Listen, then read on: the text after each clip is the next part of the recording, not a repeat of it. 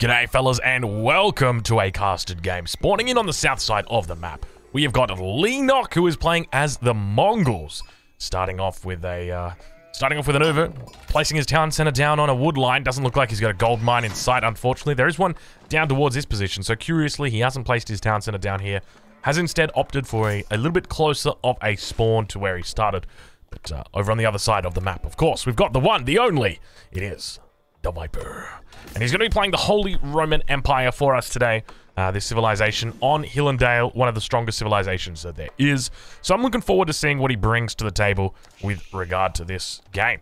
Uh, so going to be opening up with a prelate, opening up with a lumber camp as well. So not looking to go into the gold super early. Typically we do see the 3-3 build order, uh, which is where you've got the three villagers on gold, the three villagers on food, uh, and then you add every other villager uh, through to food. But uh, Interestingly, we actually see Viper being very, very smart already. And such a great move from this. So, I don't know about you guys, but okay. Just to explain what, what is happening here is picking up the wolves. Now, you don't normally pick up the wolves with your scout unless you're playing against the Rus. But in this situation, he's actually going and picking up these scout or these uh, wolves because he's very cognizant that he may be under potential threat or already. Look at this. Uh, uh, very unfortunate timing. Uh, so he is going to be looking to capture those relics. His prelates are going to be attacked by that. Now Viper heading out towards this western flank.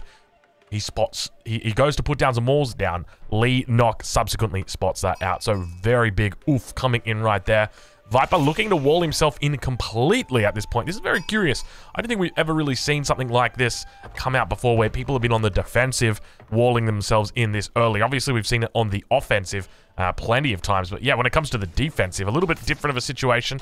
Uh, all of those wolves going down to the town center, so it's going to be able to clear that out. And now we just see Leenock over here camping out on this uh, on this villager. We'll see how it goes and whether he looks to block in the walls.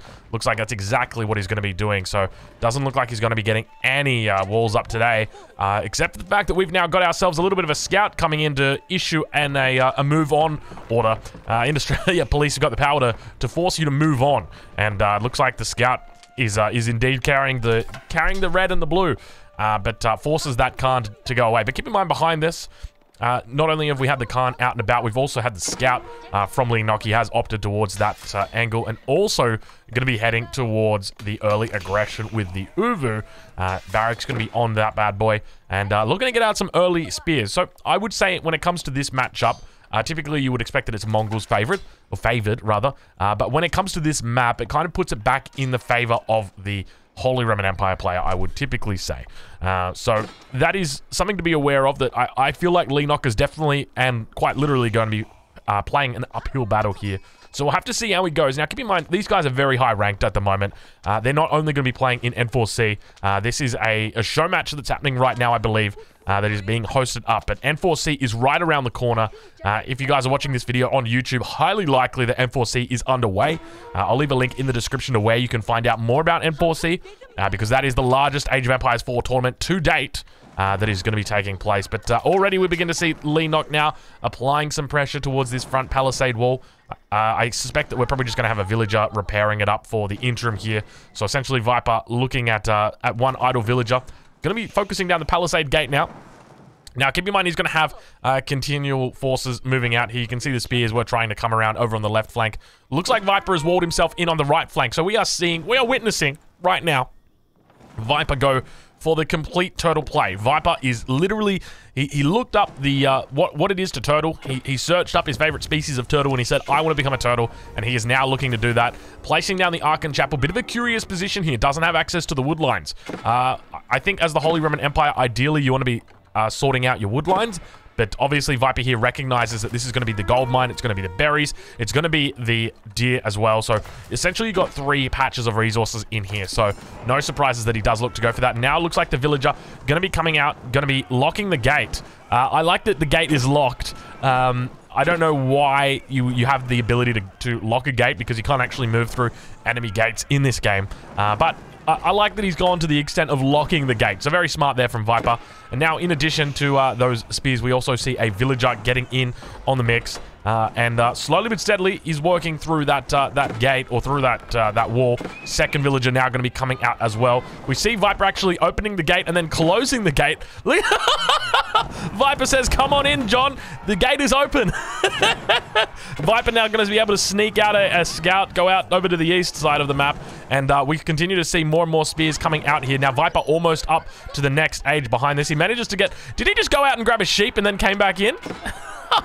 oh, Viper. Oh, Viper. You always amaze me. Uh, so he is looking to get up with the Aachen Chapel, um, but I suspect we're probably just going to be see him going straight into um, an archery range here just to try and defend this. Uh, but already, I, I, would say, like, from, from this point on, Leenock already fighting. You know, he, he's obviously, we mentioned earlier, it's an uphill battle, figuratively, literally. Uh, but I definitely feel like, you know, this has been a fail uh, with regard to this start. But I guess one thing to note is with Viper healing or repairing this wall, it is using up his wood income non-stop. So he's not actually able to get down a, a uh, an archery range immediately upon aging. Uh, and it means that he's going to need to allocate more villagers over to wood if he wants to get that out. You can see that he's actually going to be losing uh, this palisade gate. And keep in mind, there is a villager in here as well. So he's going to be up against a villager. He's going to be up against, you know, a, a potential, um, a, a, a uh, an outpost that goes down on these resources. And in addition to that, uh, he is also going to be, you know, up against a huge mass of spears that is already out on the map. Uh, we can now see Viper coming down with a, a um, an outpost. He cancels it. He said it's a little bit too defensive. I'm going to move it back a bit. Now, keep in mind, it's being covered by the town center if he wants to come in here. The spear is going to be moving in, though, towards those villagers, looking to try and make some uh, some ends meet. Uh, don't manage to kill any villagers, but he forces him off the outpost, and you see that second outpost coming back here. Now, keep in mind, behind this Yam network, a.k.a. the uh, the Deerstones, is coming up, but uh, Viper going to be trying his best to just take out a lot of these units. Uh, still, we do not see, at this point in time, an archery range coming up, and Viper definitely in a difficult spot here. So I definitely, I feel like he probably wasn't really prepared for what he was witnessing there against the Mongols. That outpost still actually not going up. That that worker is just sitting there idle. I'm not sure exactly what's happened there. Villager's going to be trying to get up. You can see he's managing to get that outpost up. They do jump inside. Let's see if he focuses down the, the villager. I don't think it's going to have the range. You can see right there, just very unfortunate for Viper. And that means that that outpost is going to get up. Oh, he's able to hit the, he's able to hit the villager. Oh, he can hit the villager. He manages just to get that tag on the villager right there. This, now, Leenock can come in here and can actually finish up this outpost. Viper instead going to be pulling villagers. Now, keep in mind behind this, Leenock is doing what Leenock loves to do. Uh, and, and that is, uh, I mean, I, I was going to say go to the castle age, but I don't know if Leenock loves to do that, really. I'm going to be honest with you guys. Outpost does go up. Viper going to be in a difficult position now. Going to be losing a lot of villagers here if he's not careful. Looks like one villager gets picked off. Second villager going to go down. Let's see. Doesn't look like it's going to be going down, so trading out villagers. Uh, now, keep in mind, I think that villager on the front line did actually go down. Indeed, it did. So he does trade out the villagers. A lot of idle time coming through for Viper, though. And uh, behind this, Viper trying to get up to that castle age, but both of his food resources have been completely locked down by this. And this is an absolutely huge factor uh, for Viper because over on the other side of the map, you know, you've got Leenock who is just putting down pastures on his Ovoo. Going to be adding in a third pasture here. He is booming his heart out. Double Mangudai going to be coming out as well. This is quite a curious addition uh, that we're going to be seeing here. But uh, it looks like Mongol Khan's got to be a bit careful. Uh, but uh, Outpost now going to probably be having the, uh, the upgrade coming through any second, I suspect. We'll check in. We'll see. It looks like, indeed, uh, it is here. Uh, so he's got the extra range upgrade on that bad boy. At least I suspect he does. Uh, but I don't think there's any way to check it when there's a unit inside. Other than maybe like the attack range. But, you know, you, you can't... It, it can't... It, it's the limitations of the UI. Look, it's 2022. I'm not going to start talking about... Uh, you know, the kind of crazy things that you guys are wanting to see. But, you know, seeing it, a unit statistics while there's something garrison inside it, I mean, that, that's, it's just not possible in the engine that we've got, unfortunately. But uh, Viper now managing to sort of move out towards the west. He's got 10 villagers out on the berry bushes out here. Now, keep in mind, his other berry bushes out towards the east. Uh, still not really going to be able to access those bad boys. They are behind the wall. Uh, now we got those Mangudais moving in behind the gold mine. Uh, and going to be looking to lock down this area. Viper also has the stone gathered up. I really feel like Viper has just been completely shut down in this position. I'm starting to worry about him. He's got the three prelates out, so look, in the event he does get up to the third age, he's going to have plenty of... Uh, actually, he's got a fourth prelate out here. Is that just because he's got no, no food? I'm not sure exactly why, but he's gone for four prelates already. That is massive. Uh, and this is part of the reason why I don't think Aachen Chapel, or, or I think Aachen Chapel sort of losing value, just because of the, the prevalence of the prelate coming out a lot here. But uh, an outpost is going to be going up over on the berries. Uh, obviously, the Mangudai could potentially move around there, and we now see the Khan going to be looking to link up over on that uh, that western flank but uh, we'll watch how he plays. You can see the scout out here and looking to secure up the relics. Leenock doing a very smart move here. So we'll take a look at the relics and see exactly how they're positioned on the minimap. Uh, so you got one outside Viper's base, one right outside Leenock's base, another one outside Leenock's base, another one outside Viper's base, and it looks like a fifth one is right outside Leenock's base. Indeed, it is a very good spawn here for Leenock. Going to be easily able to deny. And what are these relic spawns? These are very, very, uh, you know, very favored towards one player. Even like this relic here, it's kind of open towards the middle. And even this relic here, like th these two relics for Viper are further away than what Leenock has to contest with his own three relics. It's kind of wild uh, when it comes. It's, it's rare that you do see that. But look at this. The village is under attack. Just such huge range coming through now for that unit or for that outpost. Just attacking villagers out here literally under this. And as a result, I mean, right now, Viper sitting on 29 villagers, 34 for Leenock, so a big villager difference there between the two players. Leenock still actually yet to come around and poke and prod towards this position, but even if he did, there is the outpost there that'll be able to defend it up. But now, Viper going to be looking to age up, going to be dropping down the Regnitz Cathedral, no surprises there, one of the best landmarks in the game, comfortably sitting inside the S plus tier. It is just a go-to landmark, one that you take 99.999% of the time, recurring, of course. Uh, 11 villagers on that one. Uh, over towards the other side of the map, we already see Leenock going to be going up with the Steppe Redoubt. Once again, another S tier landmark. Uh, and uh, this one probably taken about 98% of the time. Uh, you do commonly, or not, you do sometimes see the Kurultai, but it's very rare to see that. It was, it was sort of an early stage uh, Mongol meta build, but now you can see that Prelate making its way out. Oh my lord, there was he never walled this up. Look at the prelates even going towards it. He never walled the gap. He had a big gap, a big gaping hole inside of his base, and he just never, ever even noticed it. And I don't think the Mongol player did either.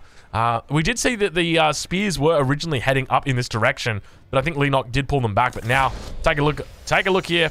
Viper going to be trying to pick up that. He doesn't actually know. Viper's got no line of sight out on the map. He's just coming out here willy-nilly. Does actually spot the relic, but uh, he's going to be spotting something else as well. Looks like the prelate going to be unfortunately going down. He's going to try and pick that bad boy up and try and move it. Come on, you can move it at least a little bit. Oh, there you go. You got it three pixels. You send out five more prelates, you guys will get it eventually. If he sends out two prelates at the same time, he will be able to capture that. Uh, so let's see if he picks that one up. But uh, he's, he's in a very difficult position. He only knows about the location of two of those prelates, and that really comes down to the aggression of the Mongol player and the fact that he was able to keep Viper in his base just by keeping the Khan back over here. It forced Viper to bring back his scouts, and as a result, it meant that he wasn't really able to do much. Viper now going to be looking to wall up the uh, the the, the gaping hole uh, that was uh, that is at his entrance. Uh, do we have an outpost in the middle? We do have an outpost in the middle. Also going to be going for a Springald emplacement here. Uh, so really looking to secure this one up and, uh, and make sure Viper's not going to be able to take that uh, Take that one. At the same time, an outpost going down towards the eastern side. And just look at this total control, total domination when it comes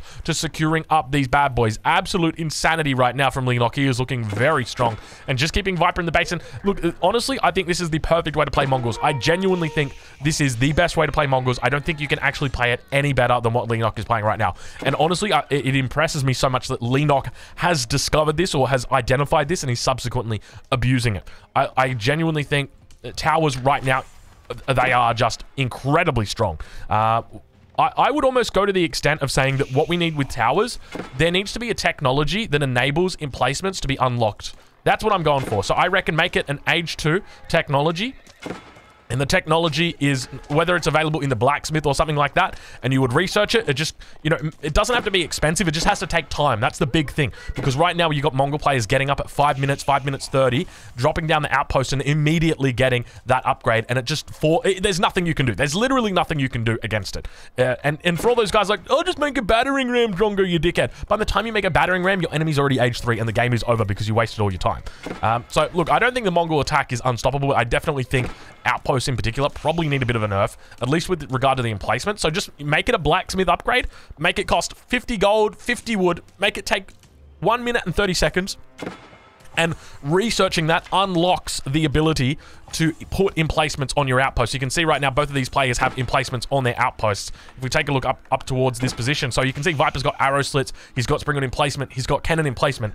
And so my my proposal, and I, I, I just thought of this on the fly, you would just have another technology that's right here in the blacksmith, very similar to siege engineering. It'd be called like outpost or defensive outposts or something like that, and it would enable you to then have those technologies or those emplacements uh, created. And then, you know, if you didn't have that, even if you're in age four, You're not going to be able to have emplacements on your outposts. You're not going to have emplacements on your keeps. Nothing like that. Not until you research that technology. That's what, that's how I think you'd probably do a bit better at balancing these outposts because it does feel like the outposts are incredibly strong. I don't know about you guys, but I've begun to notice a continued trend. Delhi, Chinese, Mongols, all these civilizations are moving more and more towards outpost rushes, outpost attacks, and we are seeing it almost in every single game that these guys are playing. So that's my shout out to you guys, devs. Uh, hopefully, uh, hopefully you're listening. Hopefully you've scheduled a meeting for Monday. But uh, Leenock now going to be pushing out with more and more of these uh, of these units out towards his enemy's base. You can see he's just got an absolutely booming economy sitting here on 48 villages at the moment. At the same time, Viper sitting on 40 villages, no relics whatsoever. So you can see right there, Regnitz Cathedral completely useless at the moment. Uh, a couple of villages out on this front. Now, obviously that outpost has been sieged down. Uh, so he's now going to have access towards this berry bush, uh, or these berry bushes, towards this deer carcass. But at the same time, I mean, he is struggling significantly. Multiple uh, relics still out on the map, yet to be secured. And now we see the Mongols coming in for their power move, their RKO off the top rope, going to be looking to uh, put in some of those mangonels from their improved siege engineering. And uh, it is uh, a, a difficult position to stop right now because these units are going to begin flooding in.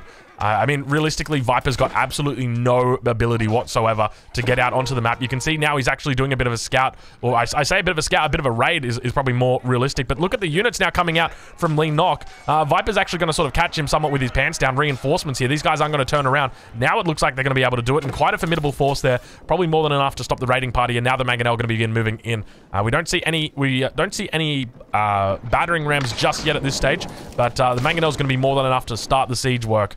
Uh, but now we hear the uh, relics getting taken, so the shaman going to be out about on the map. Uh, where is that uh, that tent? You guys know the tent that I'm talking about. There it is. It's coming down. The monastery, the moving monastery. Uh, but uh, he comes through now. Going to be picking up some of these raids. You can see you've got the plus one coming through for Viper, but it's just not going to be too much of, a, of an issue when you've got these many spearmen. Now, keeping in mind, these guys have got the YAM network as well, because why wouldn't they? 1.44 movement speed on these. So the Knights are going to have to really keep them running. Uh, it looks like a second relic going to be kicked up, picked up right now for Leenox, so he's grabbed this one over on the left flank. Um, and now it actually looks like the uh, Prelate is going to be able to pick up that... Uh, that uh, relic over towards the west of the map. Still got that one available on the east, and Battering Ram now going to begin moving in, but Vi Viper really yet to have any forces at this stage. I think we hear a Springald coming out from somewhere. No, I, I, I heard a Springald emplacement of some sort, or maybe it was just a Springald of some sort. Indeed, it was two Springalds now coming out, looking to take down this Battering Ram. You can see just how much damage it does, uh, but Viper really with a lack of units back here. You can see him now moving across the map with the units that he does have, but going up against the siege composition, he's going to need he's going to need to get some form of mangonels for himself because there's so many spears that are in here. And he's only got cavalry. He's only got Springalds at this point in time.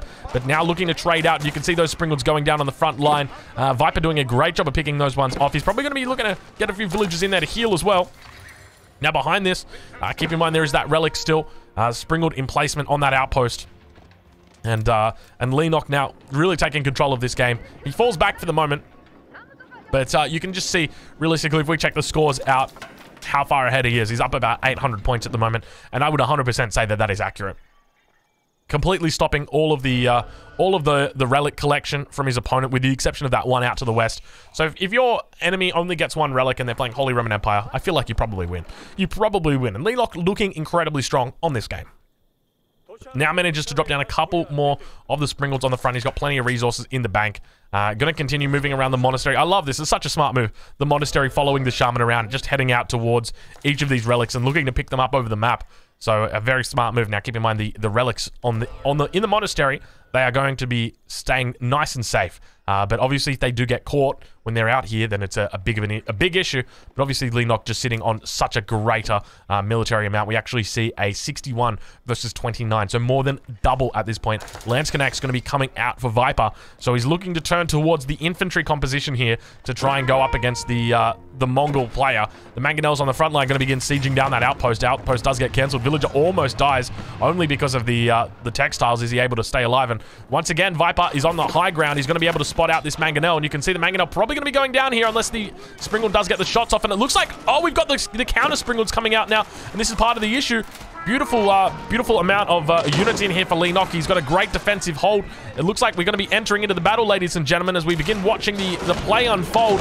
And you can just see how much damage is now coming in onto these cavalry units, just barely able to even take down the Mangonels. All of them dead completely. And Isis Back Viper probably going to tap out after that. I think that was his final push, and he just barely even able to make a dent at that in that situation. So I, am suspecting Good Game is going to get called any second. And there it is, ladies and gentlemen. Good Game does indeed get called. Leenock victorious and looking incredibly strong as we head into N4C. I know a lot of guys have counted him out, but I tell you what, he's 100% my favorite to go on and win the tournament. Uh, make sure you go check out N4C, fellas. I'll leave a link in the description to where you can find out more information and when you can, where you can watch the stream live. I'll catch you guys in the next one.